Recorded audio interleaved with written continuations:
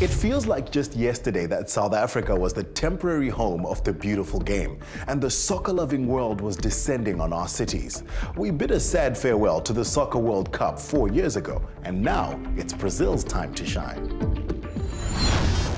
With the Soccer World Cup a mere two months away, it's time to get prepared. We got apps, we got games, and we got boots to get you into the mood for Brazil. First of all, we kick off with Nike's latest revolutionary addition to the world of football. If a sock and a pair of soccer boots were to have kids, the new Nike Magista would be it. It's as durable as a soccer boot, but as comfortable as a pair of knitted socks your gran would have made you.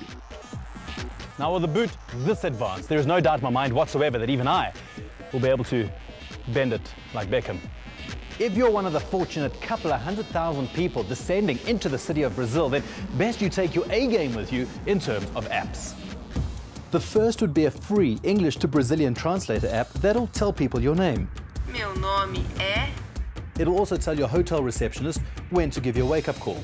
Eu preciso de uma ligação para acordar às 6h15. It'll also ask one of the passengers on the same train as you when you'll be getting to your destination. Quanto tempo até o destino?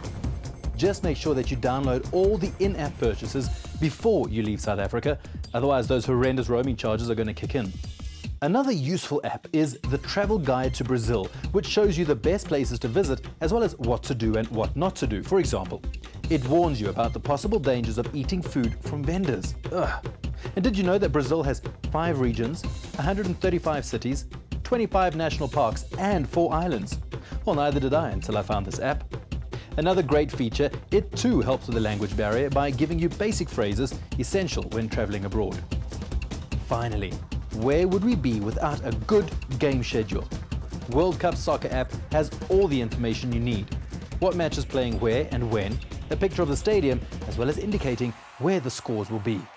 If, like me, you're not going to be going to any of the games in Brazil, don't worry, you can still get into the spirit of things by downloading the new FIFA 14 game on the Nokia Lumia. It's a great way to get as frustrated here as you might do at the actual games themselves. The gameplay is as user-friendly as a mobile game can get, with easy-to-use controls and great graphics. They're trying to take Brazil to another World Cup win. It's just... Ah! Penalty? Oh, come on!